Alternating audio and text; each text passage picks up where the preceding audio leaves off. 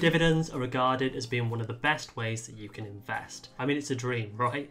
Who wouldn't want to sit back, collect those payments, and just do nothing? Tell them to bring me my money. Yeah! And especially when you think each and every year, if you get more and more money, then then payouts are going to get larger and larger. In fact, at the moment, every share that I own pays a really nice dividend. And last year, I got around 5,000 in dividend payouts. But I think when people start investing, especially when it comes to dividends, there's a few things that people really overlook that are super, super important. And I know with myself, it took me a while, especially when I started out to learn these lessons. So today, I'm going to share with you some really important lessons that you need to know and need to understand before you start dividend investing. And do make sure you stick around to the end because I'm going to share with you my whole approach to dividends, my strategy, and how I go about investing. Now, the first thing, it's really important that you grasp how dividends work. And to explain this in a clear way, I'm going to show you an example using my company. So here is me, and I have a company that sells websites.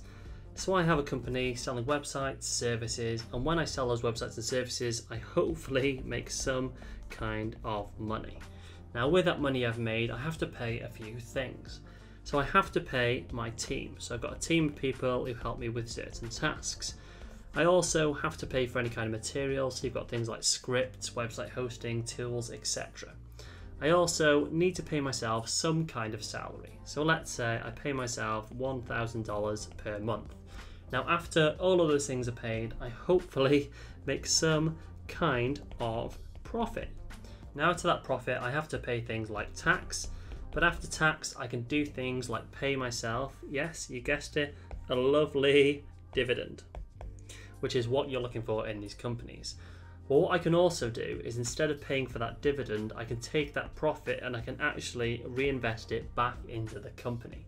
So I can invest in things like tools, the team, maybe marketing, and hopefully, well, I wouldn't get that dividend that you're looking for, but hopefully my company might be worth maybe 20% more. So I'm taking away the dividend, but I'm actually gaining 20% growth in the company. So you might think, well, how does this work? This does relate quite specifically to you buying shares. So here is you, and you come along and you buy one share in your company. Say it's something like Coca Cola. So when you buy that share, you actually get a small, be it very, very, very small piece of that company. So when that company makes its profit, then you're paid out your dividend. So for example, that company pays a 5% dividend. So let's say you've invested $10,000 in that company and when it pays out, you're going to receive your $500 for being a shareholder, which is going to make you very happy. Well, instead of getting that $500, what if you got 0% dividend? But actually, that profit that it made, it actually reinvested back into the company. So, actually, this company eventually becomes a much larger company, which is actually worth maybe 30% more in value. So, you're not getting that dividend, but actually, your money has gone up 30%.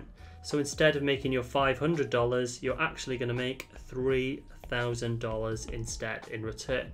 So this just illustrates the power of reinvesting your profits into the company.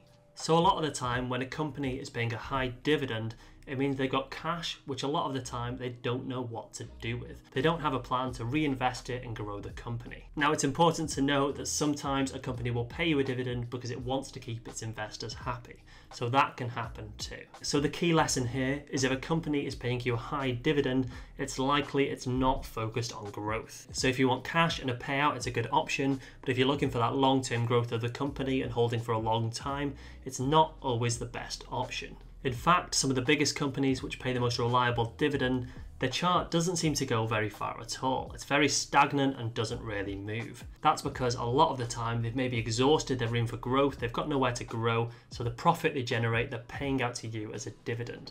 But the thing you need to think about here is it's okay, it's staying very static, but what about if it drops? Because even a 5% drop can really mess up your dividend goals. So, for example, if you had your $10,000 invested in a company that dropped 5%, your $10,000 is then worth 9,500.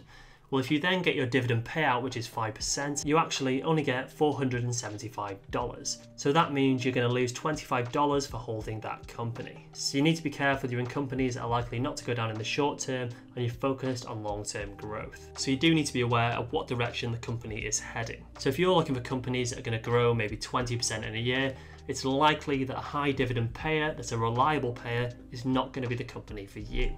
So let's move on to lesson number two, which is super important to know, which is vastly overlooked. So for this, I'm going to ask you a question. Let's say you've got two funds or ETFs, and both focus on the FTSE 100. You've got Fund A and you've got Fund B. So both funds contain the same 100 companies. So you've got 100 there and 100 here. So Fund A doesn't pay a dividend at 0%, and Fund B pays a dividend of 2.5%. So which one would you go for? Now, obviously, it's a no brainer, right? You're going to go for company number B, which has got a 2.5% dividend. Well, that is actually wrong. So you might be thinking, well, doesn't it matter about the growth? So, okay, let's say these two funds both have a 5% average growth rate. So then, which one would you choose?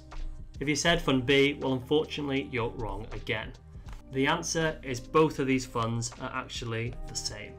Well, what do I mean by that? Well, let's presume these two funds have the same amount of fees. So within these funds are the same 100 companies. So here are all the companies.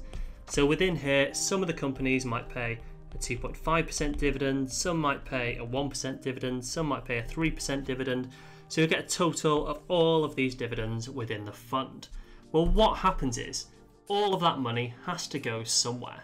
So within Fund A or Fund B, all of that money is still within the fund. So it's either going to be within the growth or it's going to be within the dividend. Now you might think, well, I saw one that had 5% and the other one had 5%, so why has one got a 2.5% dividend? Well, the answer is that is probably wrong. Unfortunately, on a lot of apps and websites, the dividend yield isn't always that accurate. And I will make another video explaining dividend yield and how it works, so make sure you stick around for that one. So the lesson to learn here, if you've got two funds that are identical, one pays a dividend and one doesn't, and it's got the same companies, they're both going to be similar. If you go for the growth one or you go for the dividend one, that money's got to go somewhere. It's not like they're kind of sneaking that money out of the funds and they're kind of banking it in the back pocket that money has to live within the fund. Now let's move on to lesson number three, which is perhaps the most important of all. And that is that dividends can be cut. Ah, what do I mean by that? Well, if a company's not making a profit, their earnings are declining, and they haven't got the money to pay a dividend, they have the option to cut it. Like with my company, if I wasn't making a profit, I wouldn't pay myself a big dividend. So in the same way, they're not going to pay that dividend to you as a shareholder. So that can be really scary if you're relying on those dividends to make your income. This is where you have to look for really reliable dividend payers that paid out a good dividend year on year on year that are in a solid industry that aren't really going anywhere. And you're going to want one that's paid out a dividend for maybe the last 10 years. And a company that steadily has increased their dividend year on year. And those companies do exist, so don't be totally scared. So just be aware there is the option to cut the dividend if they want to. So now you're the master of dividends dividends, you understand these core fundamentals, let's talk about when dividends are good. So for example, if you don't see a lot of growth in the economy and you don't believe that companies are going to grow, for example, the S&P 500 is crazy high at the moment and it might not go higher, then sometimes like now, dividends can be a really safe option against it. You can go for some reliable companies that don't move very much and are paid a really reliable dividend. The other time, of course, when dividends are really fantastic is if you need income. So for example, if you reached your end target and you had a lot of money and you wanted income that way, you could switch to dividend paying companies. If you're in the really early stages of investing, like I would class myself as, for example, I'm going to be investing for at least another 10 or 20 years and even beyond that, well then dividends for me at the moment aren't really a great option. And I know at the beginning I did say all of my companies are dividend paying companies. Now let me just explain that and talk you through my strategy. So at the moment, and especially in the last year, I knew the UK had been hit really hard and it was going to recover. And I still believe the UK has got a lot of room to grow so what I did is I looked for really good, solid companies like your Taylor Wimpey and Aviva. They've got a lot of room to recover. For example, Aviva I made 50% on, and I also got their fantastic dividend of 6 or 7%. So if you know a market on the whole is going to recover, you can actually pick some really good companies within there and use them to grow your portfolio. So for example, with me, I'm going to be putting more money into the FTSE 100 and I'm going to pick a few core companies that pay a really good dividend that are going to give me that growth plus give me that dividend, which is really the fantastic magic formula. And if you can hit that, then you're really onto a winner. So I hope that's cleared some things up. Hopefully you've learned some things. Let me know which companies you guys are holding down below. If you haven't already, come over and join our Facebook group Thank you guys for watching and I'll see you in the next video.